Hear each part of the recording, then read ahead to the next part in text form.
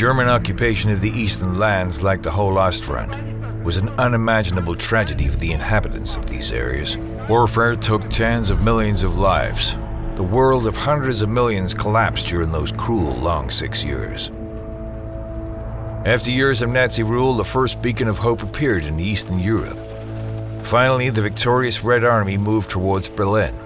Residents of towns and villages oppressed by the Germans anticipated characteristic Soviet uniforms, and the Nazis escaping in panic. Many Ukrainians, Lithuanians, and Poles believed that this was the moment when their fate would change and the hopeless situation would at least slightly improve. That the Soviet army would, despite everything, return the liberated lands to their rightful owners. Many were aware that the liberated would not handle the liberated ones gently, but it seemed to be a better scenario than even more years of war. Ultimately, it turned out that for many people, the real nightmare was just beginning.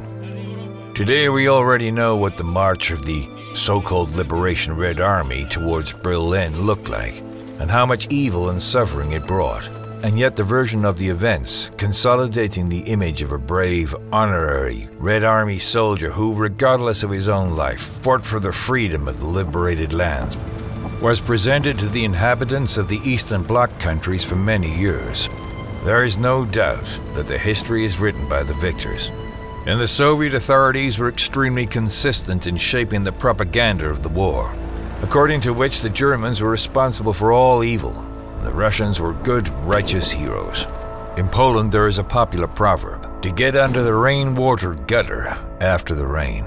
It perfectly reflects the situation of the Poles at the end of the war. The country, completely destroyed by the wrath of the Nazis, became a field of uncontrolled, less but also destructive actions of the Red Army soldiers, deepening the chaos and collapse of rebirthing Poland. At the beginning, it is worth mentioning that after the division of the zones according to the secret protocol of the Molotov-Ribbentrop Pact, the Red Army entered Poland as early as September 17, 1939, breaking the Polish-Soviet non-aggression pact concluded in 1932, which was to remain in force until 1945, potentially to be prolonged. Until 1941, the Russians occupied eastern Poland, committing unimaginable crimes. During this period, about 1 million Poles were exiled to Siberia. The Katyn massacre took place, over 21,000 Polish citizens, representatives of elites and intelligentsia, were killed by the NKVD by a shot in the back of the head. It was a deliberate action whose goal was to facilitate the creation of new elites and intellectual and political structures in Poland, subordinated to the USSR. For many years after the war, the Russians stated that Germans were responsible for Katyn in 1941, the Nazis also attacked the USSR itself. The lands occupied by the Soviets so far passed into their hands. Only three years later, in 1944, the situation changed radically. That period brought a range of successes from the Allies and the retreat of German troops, gradually being pushed back by the Red Army. For Poles, this meant liberation from the hands of the occupier. But they had to wait over 40 years for real independence. Poles liberated from the Nazi yoke found themselves under the rule of a usurper who did not shun robberies, rapes, and unjust murders of civilians, often simply for the entertainment of officers.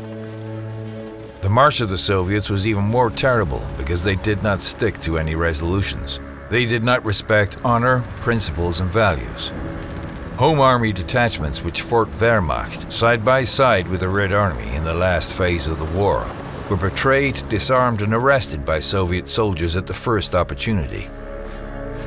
Home Army soldiers who did not agree to be incorporated into the Polish army subordinate to the Soviets and did not want to cooperate were killed or sent to labor camps. By destroying this last manifestation of resistance, the Russians were free to bring their rule to Poland, which they did consistently. On July 22, 1944, that is just before the end of the war, the Polish Committee of National Liberation was created, completely subordinated to the authorities of the USSR. War and betrayal took away the defense forces of the Polish nation for many years. So the communists supervised by Stalin did not have major problems in establishing state structures in their newly created territories of Poland that were in line with their own expectations. Speaking of the so-called liberation, one cannot ignore the issue of the Upper Silesian tragedy, or in general the fate of Poles who were in any way connected with Germany. When the Red Army entered Upper Silesia in the beginning of 1945, they bloodily dealt with people who had previously obtained the status of Volksdeutsch, i.e. people of German origin, living outside Germany. Also those who did it against their beliefs in order to save themselves and their families. Many innocent Silesians were then deported deep into Russia or disappeared without a trace.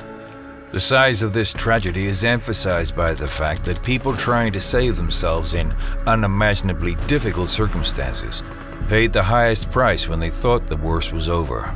The topic of Silesians and the Volksdeutsch is a link to another great tragedy, related to the liberation of the East by the Soviets. Unbelievable hell broke loose when the Red Army crossed the former Polish borders and reached the areas inhabited by the German population. Revenge was the main motivation of the Soviets. There were no restrictions or bans.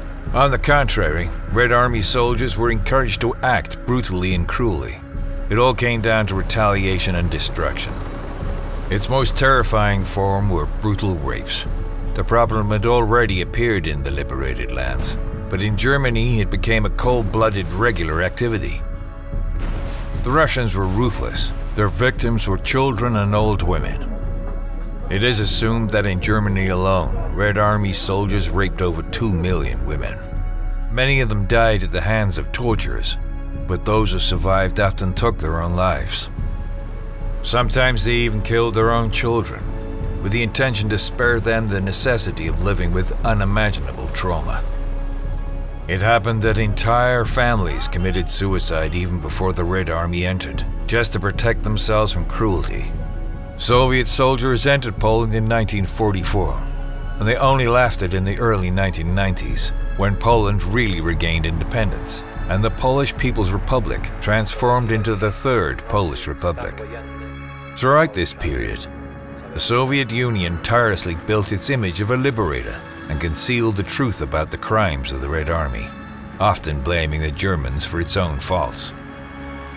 American pop culture also contributed to the hypocritical image of the Red Army in the minds of the West, often showing an idealized image of the Allied Red Army from World War II, even despite the tensions arising from the Cold War, which was a direct consequence of post-war decisions and arrangements.